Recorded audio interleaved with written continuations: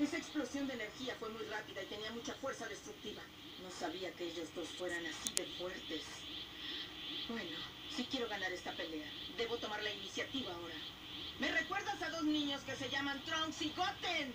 ¡Ah!